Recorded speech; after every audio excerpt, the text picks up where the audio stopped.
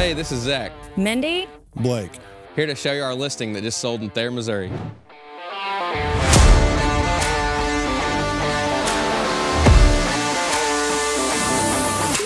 This commercial building used to be River Country Chevrolet, and we can't wait to tell you what's in the works.